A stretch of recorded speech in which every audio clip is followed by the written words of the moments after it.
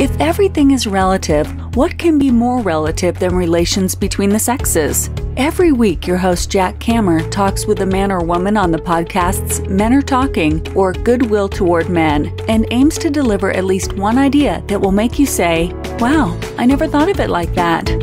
Today, Jack talks with a woman on Goodwill Toward Men. Today on Goodwill Toward Men, we talk with Jennifer Harman, professor of social psychology at Colorado State University. Dr. Harman specializes in research on intimate relationships, power, family violence, and application of social psychology to underrepresented populations. She considers parental alienation to be a form of family violence and child abuse. In this interview, she addresses the ideological science deniers who deny not only that parental alienation is a form of family violence and child abuse, but who deny that parental alienation even exists. Hello, Jennifer Harman. Hello, Jack. How are you? I'm very well. Thank you for your time. I, I really appreciate it very much. So, Professor Harman, you are a social psychologist at Cal, uh, Colorado State University. Uh, your special your specialties are intimate relationships and power, especially in the context of the family. Is that fair to say? Before we get to the main thing that I want to talk with you about today, I wonder if we could take a, a quick um, a quick detour, a quick sideline to a piece of audio that was broadcast on NPR, the NPR show Wait, Wait, Don't Tell Me. You familiar with it? The NPR yes. quiz, quiz show. All right, this is from 2014, a one minute clip, and it's, it's relevant to the issue of families and uh, intimate relationships and power. Here we go. Right now, panel, time for you to answer some questions about the week's news. Kiri, more interesting news from science. Researchers at Iowa State University studied 72 married couples, found out that a key to a happy marriage is how often the wife what?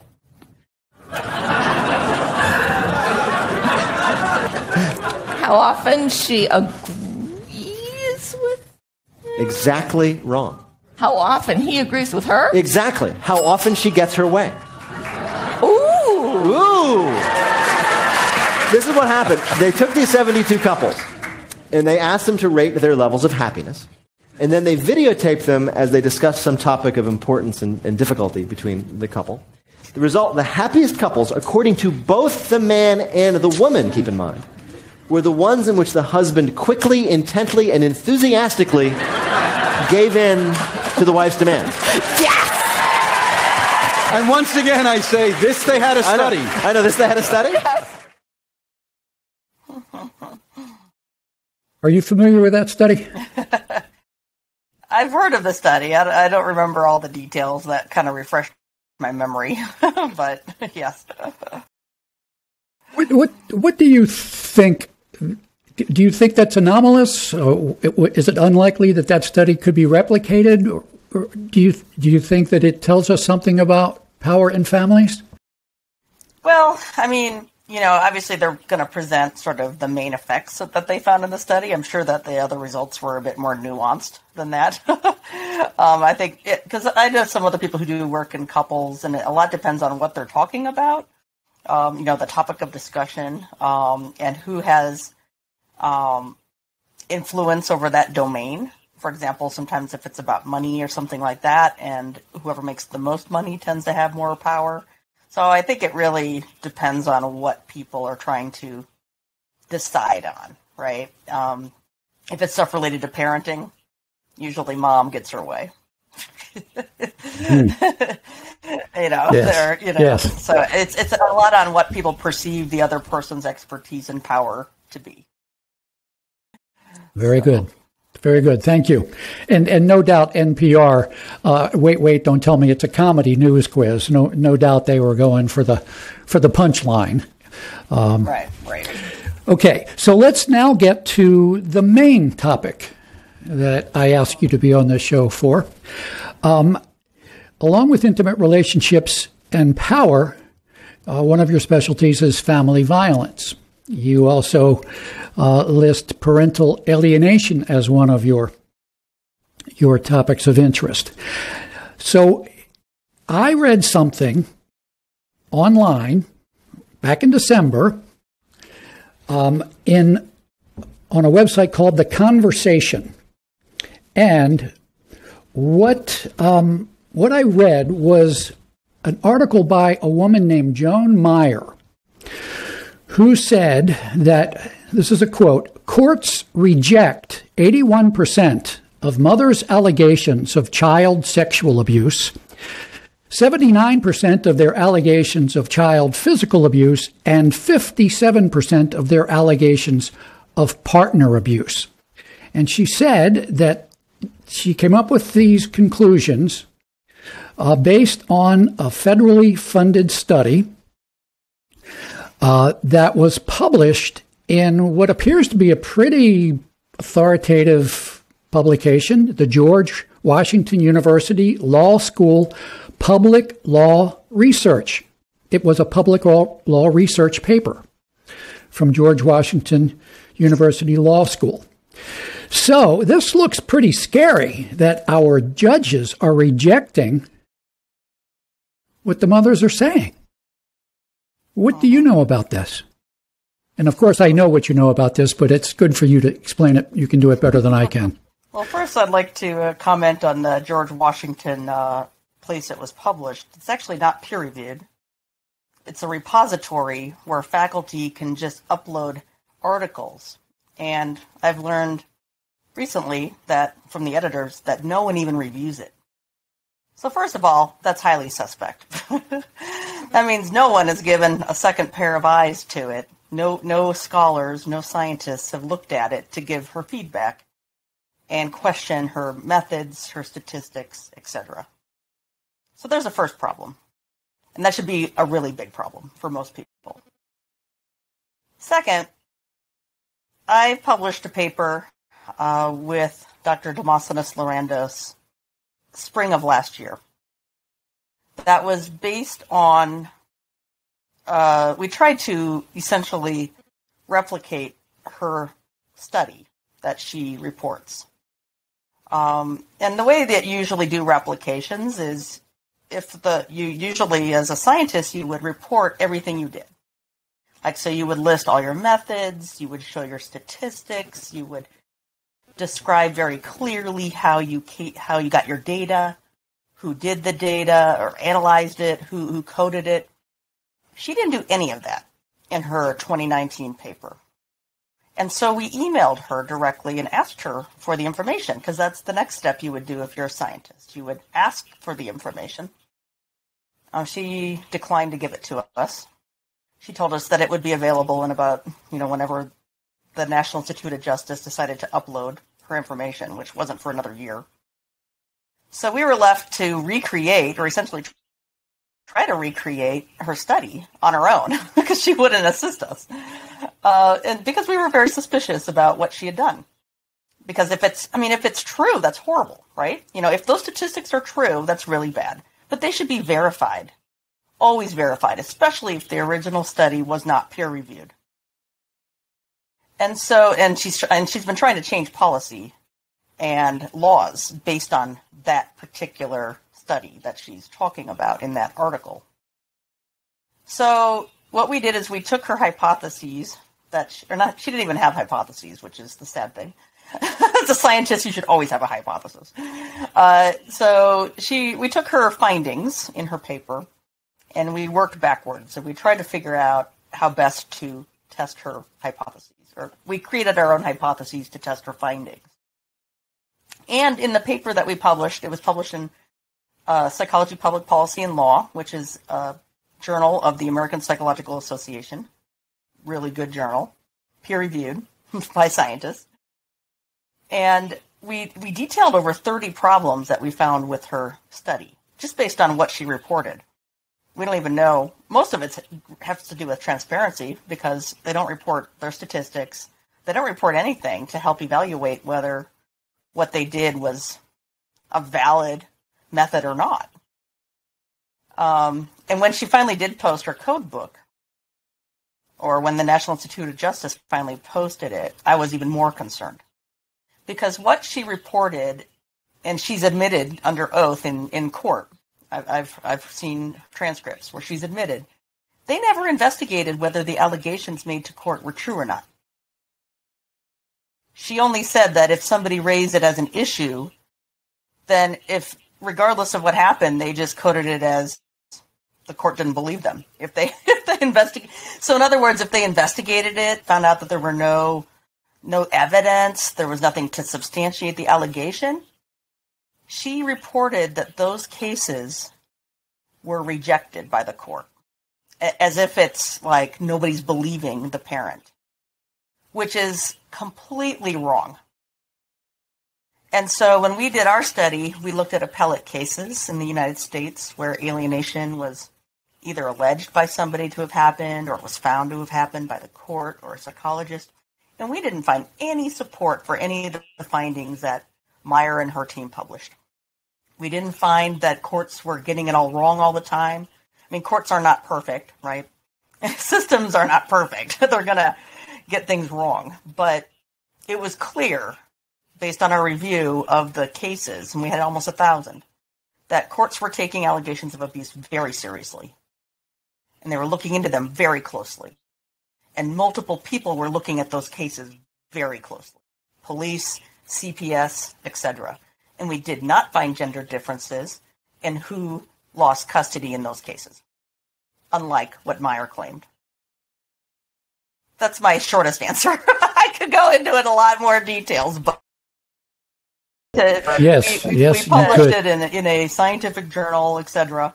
Now, she about four months after the 2019 paper, she published in the archive or this repository at George Washington University she published what she alleges to be another peer-reviewed study that validates the, her findings.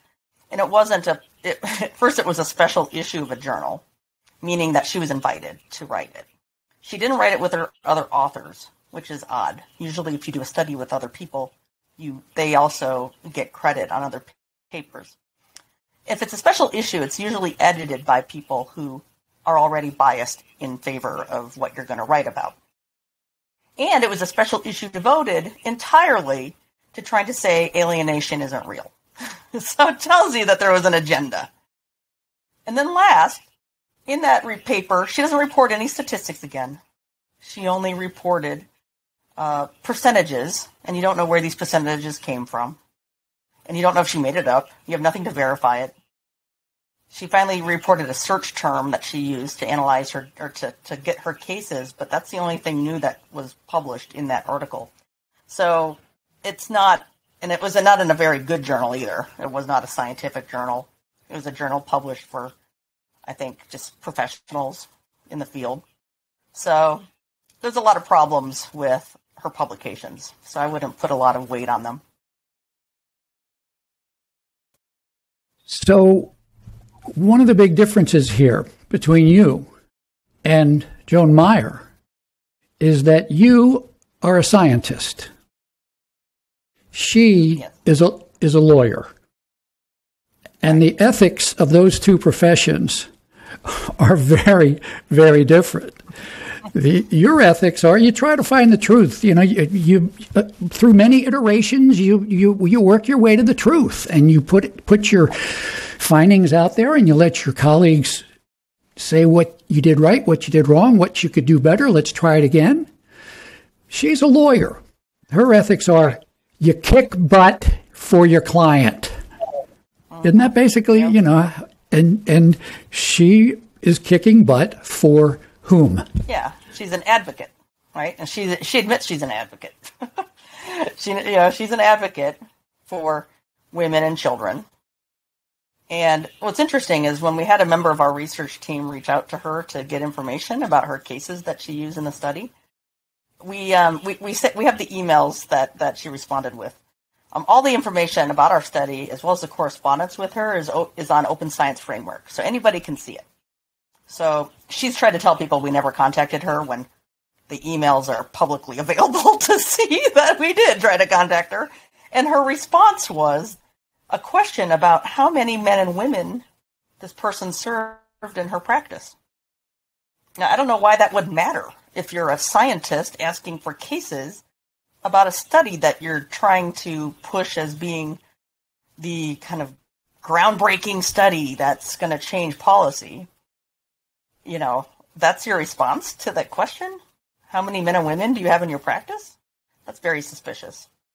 Um, and then she sort of stonewalled us after that when we tried to ask for the information. So anyway, um, it's it's disturbing. It's very disturbing because as a scientist, I'm always yes. I mean, I didn't know what we were going to find. You know, we we we pre what we did what we call we pre-registered our hypotheses, meaning that we we put our hypotheses into an archive and they're locked away.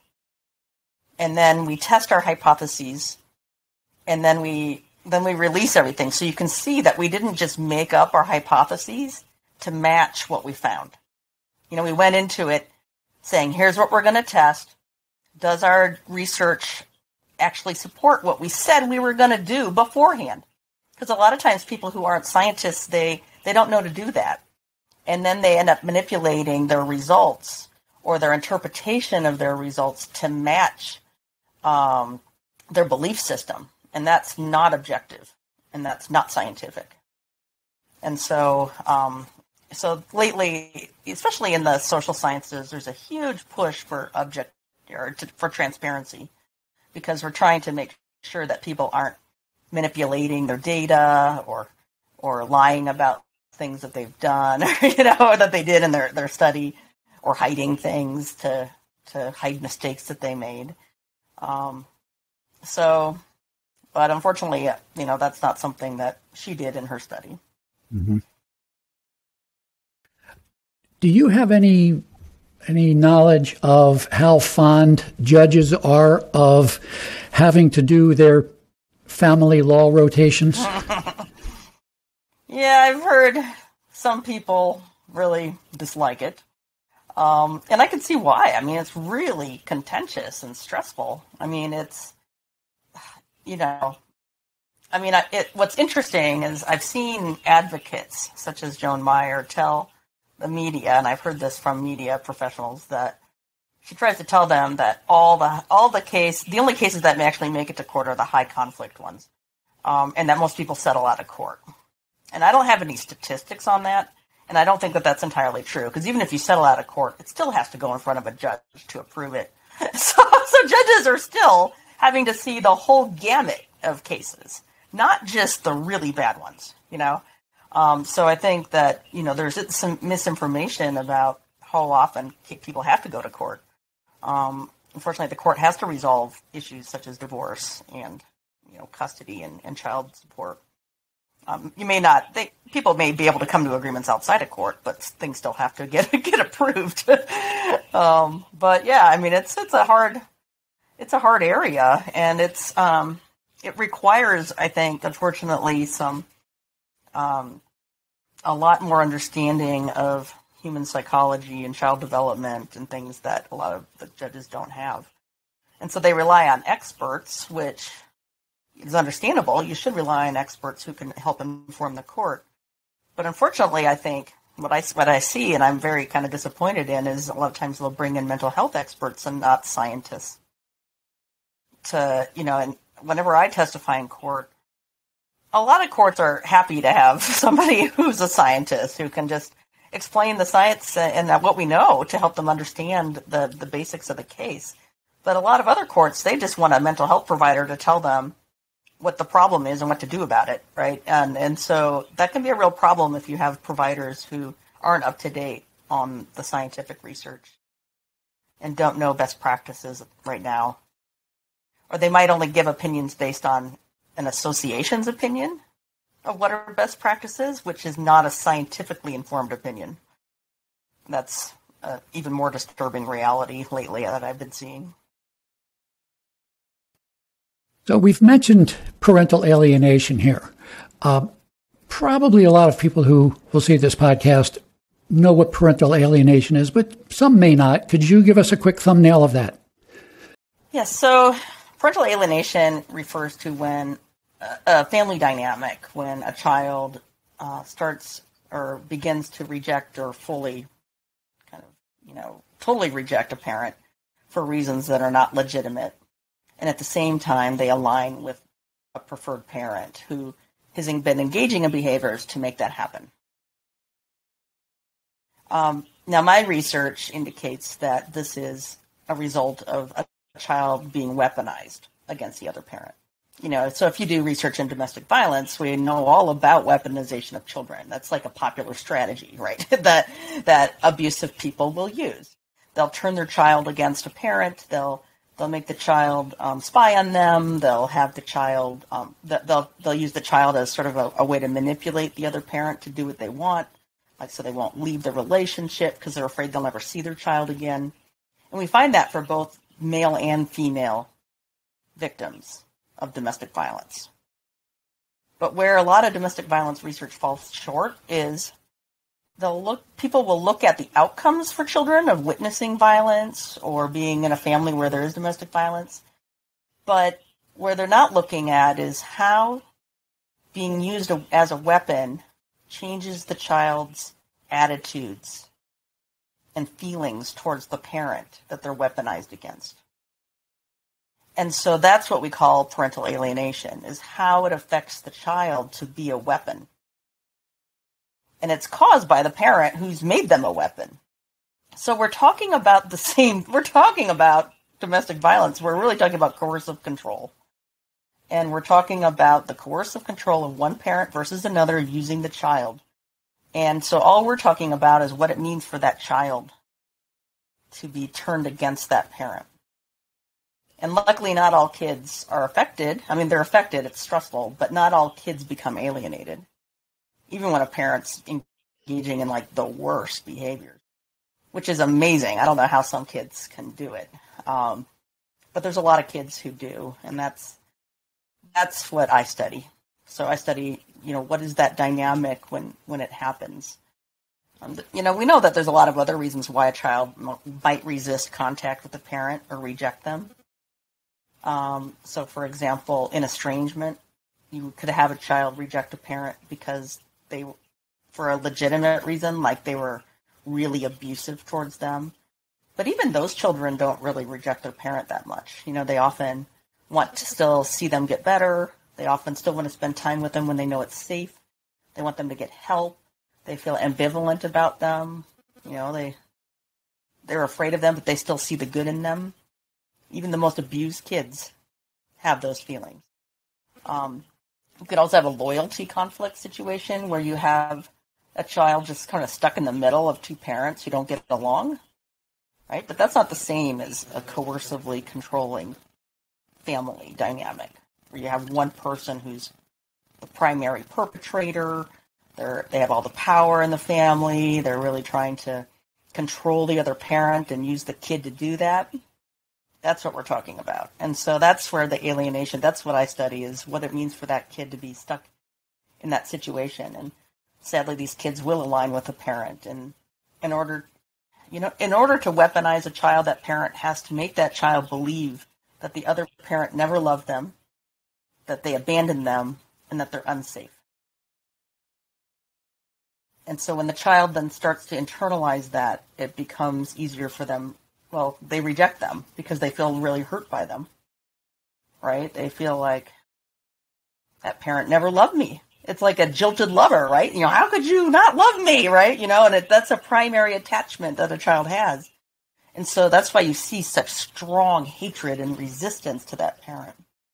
In the really severe cases, that's where you really see that. The kid is so hurt and angry that this parent that they loved doesn't love them anymore, even though they do, but they've come to believe that they don't. They've been manipulated and brainwashed and created a new narrative and a new story or a history of the family that the child has adopted as true even though it's not true. It's usually the alienating parent or the coercively controlling parent's narrative of what happened. So. You've mentioned that Joan Meier has been trying to influence legislation around the country. She's tried to do it here in Maryland. Um, what what result is she trying to achieve, and what is its relationship to parental alienation? Well, she's repeatedly tried to end her her center, as well as her, have repeatedly tried to get legislation that says that parental alienation should not be allowable as um, or allowed to be used in court as a as a defense, essentially, or as as an argument about why um, a parent should have custody or why custody should be reversed. Uh, she claims it's unscientific, even though it's very. So I publish in the top psychology journals in the field. I don't know how that's not scientific, especially when you compare to where she publishes. Uh, so, but she she makes those kinds of statements. Uh, she she claims that it was something that was just invented to for abusive fathers to get out of abuse claims, even though research does not support that argument at all.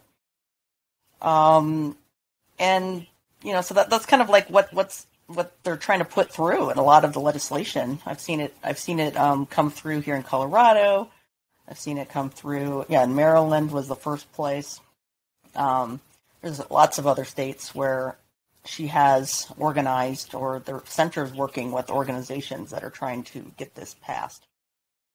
Um, or they're trying to also change training so that way they can control who does the training for judges and attorneys, and then they can control the content of that training so that the judges and lawyers don't get the right scientific information. And that's scary. And because they made the argument that it's not admissible according to Daubert standards, which is the standard for whether you can admit expert testimony. And yet, just in 2020, Dr. Lorandos, who's both a forensic psychologist as well as a uh, he has a Juris Doctorate, he published a paper where he found that there were over 1,100 cases in the United States where parental alienation was admitted by experts into court. it was considered to be probative or applicable to the case. It was considered important uh, in terms of deciding the case. So to say it hasn't met those standards or that it's not admissible is wrong. So, as an advocate, Joan Meier is trying to achieve absolute impunity for any parent who wishes to alienate a child against the other parent, particularly mother. And I think if there's a belief that mothers can't be victims of um, can only be only mothers can be victims of coercively controlling abuse. And so when they alienate their child against a parent, they're just doing it to protect them from an abusive parent. That's their belief system. And while that might be true for some women, right, it doesn't capture every, the whole population of people who are being alienated from their children. Um, you know, because we do find even in national statistics that men and women are just as likely to be victims of all sorts of types of abuse, right? Psychological abuse as well as physical abuse. Um, and so, you know, a lot of times the advocates will base their estimates on small sample studies, you know, or studies that were taken in a domestic violence shelter where you know, most domestic violence shelters are only for women, so of course you're only going to have women victims. and so it's very biased in terms of who they're basing their statistics on. And so it sends a perception that women are victims, and when they turn a child against a parent, it's just for that child's protection. And, you know, my response to that, that is, you know, parental, making a child believe the other parent never loved them, abandoned them, and is dangerous when they're not, is abusive you can protect a child from an abusive person without making the child feel that way. You don't have to alienate a child from a parent, even if they are abusive. Because now that child's being abused in both sides in, in that kind of a situation. It's interesting so, how it's interesting how often we hear that men are the only ones interested in power and control. And here we're seeing evidence up and down the line that mothers are looking to exert power and control. They're even trying to exert power and control over judges and what judges can think and what they can, how they can make their judgments. Uh, mm-hmm. they, they're they're interested in power and control over police and how they deal with uh, domestic violence calls. I, I, I, have a degree in social work. I know they they want to impose their their power and control over how social workers uh, pursue these issues. It's it's really it's really quite uh, it's quite amazing how how good slash bad um, this kind of advocacy can be. It's effective. It's very it's very uh, slick, but it's really ugly, ugly and cynical. And all the while, they're pretending to be virtuous, and it's only those bad men who want power and control.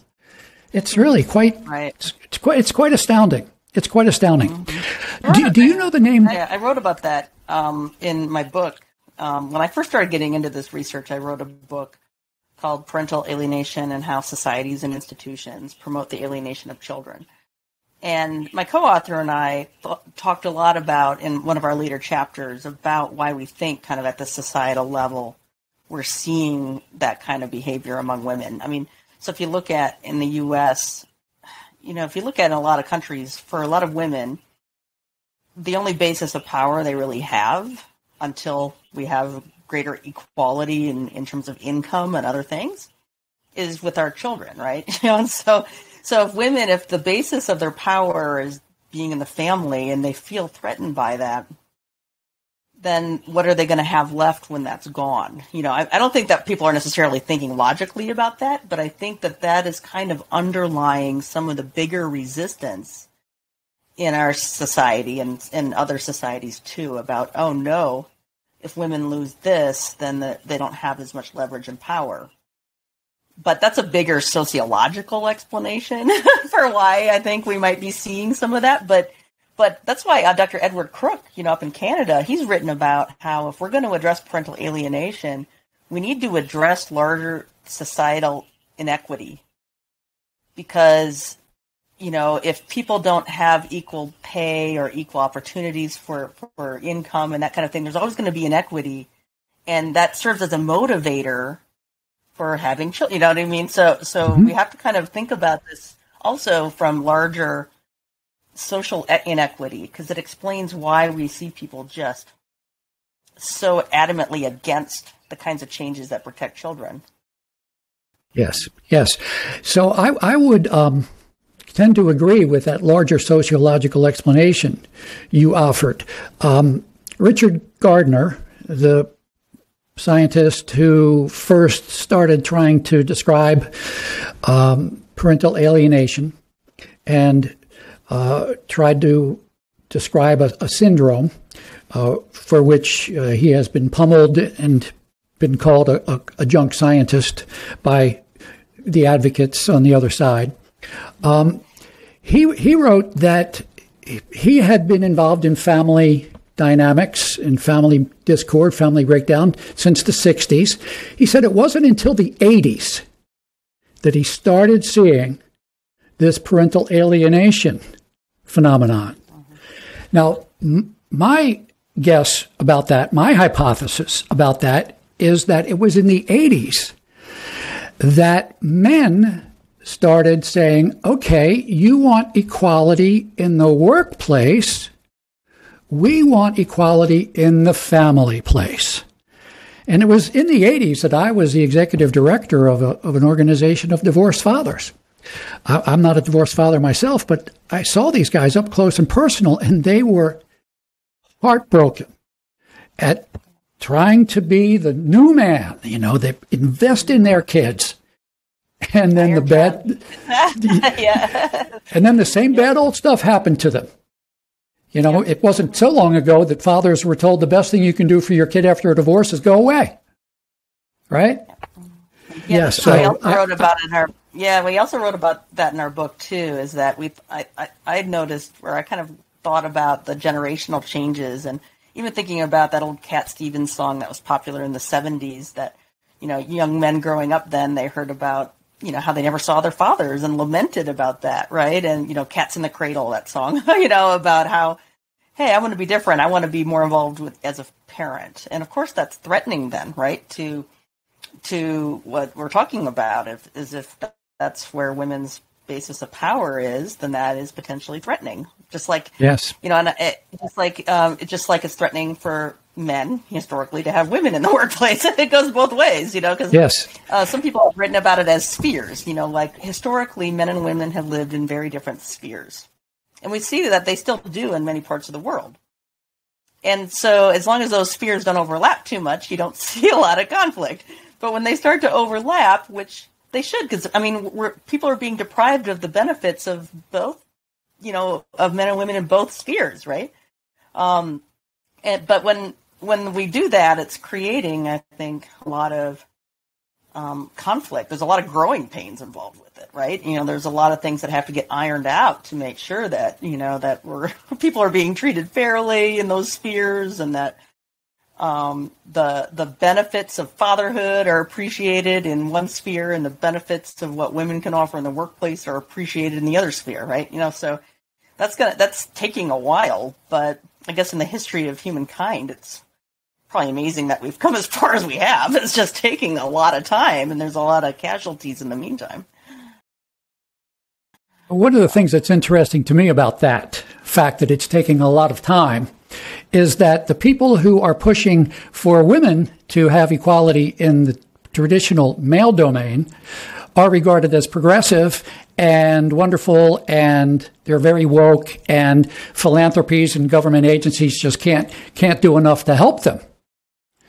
Right. But for men who are trying to be just as progressive and saying, okay, look, if you allow me to emphasize my job less and my family life more, I'll be able to support you having a better chance at getting what you want in the in the business world. But those guys, those men who are saying, I want equality in the family sphere, well, they're, you know, troglodytes, they're chauvinist pigs, they're abusers, uh, you know, and it goes on and on and on. And it's really, really, uh, you know, don't get me started. yeah, exactly. It, it's, it's really, it's really very ugly.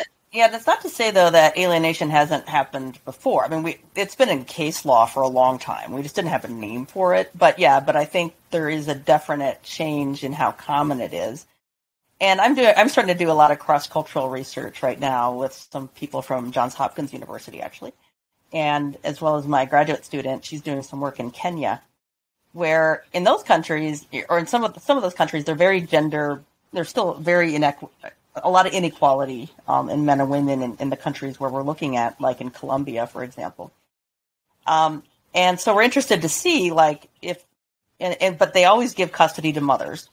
So even though the fathers tend to have more power in those cultures, mothers get custody. And so we're, we're exploring, like, what's happening in those families? You know, like, do we see some of the same dynamics? I mean, what are, can culture explain some of it, or is it more we don't know. So we're starting to explore that in other places because I'm I think some of the questions that you're asking me too or that we're talking about the only way to really kind of come to some answers is to start doing some comparisons um, in other parts of the world and to look at um, you know how family conflicts are being handled in those families and you know and, and especially in countries such as like Ethiopia or Kenya where gender-based violence is really um, it's it's really high compared to here, right? You know, there, where where there is a lot more male um, perpetration. Um, but you know, so then the question is: Are women then alienating their children too? You know, we don't know that. You know, I mean, so we don't have a lot of answers to those questions. So we're, you know, are they trying to protect their children in the best way they know how? And I don't, we don't know or is is there is it really as gender based violence as as we know, or are they just measuring it in biased ways? You know, or should we use different measures? We don't know. We, there's a lot of questions we don't know about. So that's what that's what I'm trying to work on now is trying to really expand and get into some other countries and see what's going on there. Are you are you uh, putting in um, grant funding requests for for this research? and are yeah, so one of my one of the projects is already kind of piggybacking on a grant that a colleague of mine already has, um, and with the hopes of when we look at the data, it can serve as pilot funding or you know pilot study research to apply for grant funding. because a lot of times to get a larger grant, you have to demonstrate that there's something there. You know, you have to have some pilot work uh, to demonstrate that there's something that is worth putting money into to looking at. So that's what I'm working on right now. Um, so getting So- there. So, so please, to- pl- please tell me that the answer to, to this question I'm going to ask is no. Um, we, we've talked about various biases um, in favor of virtuous mothers and against uh, monstrous fathers. Um, do you see any such bias in the funding agencies? Not yet. I mean, we'll see. I, I can answer that question probably in a, in about two or three years, and I'll let you know. um, I think what what what I anticipate is going to happen. It's more from the reviewers. It'll be like a reviewer of any other journal. You know, if the reviewers are scientists, then I don't think there would be as much criticism of, of a proposal. I think if it's based on other people who are practitioners reviewing it, there would potentially be people reviewing it who are biased and have ideological blinders on when they're reviewing it. Um, Because they're clinical people, not scientists, right. right? And there are some good there are some good clinicians out there, obviously, who are scientist practitioners and Mm-hmm. get it, but there's always the potential, depending on I think where you get the funding from. Like National Institute of Justice has historically funded research for domestic violence against women, right? You know, that's long. We we know that that's a lot of what they they fund. Um, but how did do- that how did are- that come how did that come to be it, it's it is in the federal government and the federal government is run by politicians Uh, is is is there you're you're a scientist you don't have evidence i'm i'm not a scientist although i like science i'm just suspicious as hell that there is uh you know political influence on what NI National Institutes of Justice will fund and what it won't fund. It funded Joan Meier here, isn't? Isn't? Aren't they the funder of the Joan Meier study? on their board to review grants. so, I mean, I think you know, there's no no question. And and when we tried to raise issues with concerns about her study to Na- National Institute of Justice, a large group of organizations came together to write a, a joint statement raising the issues that we identified with it. And she even admitted on page eight that she essentially did what we call p hacking. She says on page eight that she took her results and manipulated them essentially and magnified on the results that were there to get the results she wanted. And she says it in one sentence. And that is completely unethical. Hmm. So we wrote a joint statement, a large organizations, groups of, I'm president of International Council on Shared Parenting. So I was part of kind of representing that organization and a lot of other folks. We had like, I think 20 organizations write to the National Institute of Justice and they did not do anything. Said they is the problem just- is the problem that- there that's kind of- essentially that NIJ is part of uh, the Justice Department and that's lawyers, not scientists, advocates, not scientists, ideologues, not scientists? Yeah, I mean, I don't know what percentage of them are. You know, um, I do know a lot of people who work in criminal justice. A lot of my colleagues who say that, yeah, a lot of the funding, a lot of the projects that they fund are not very good, like scientifically, um, which can maybe reflect who's reviewing it. I don't know their inner practices. Given given how they responded to and how they funded Joan Meier's work, I'm very skeptical about it at this point.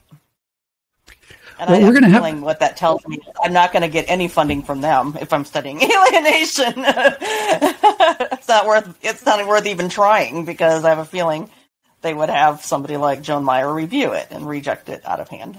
So Yeah, yeah. All right, we have to wrap up. You, you need to to get on with the rest of your day. Just very quickly, uh, the, the the the phrase, the term advocacy research should be uh, an oxymoron, shouldn't it?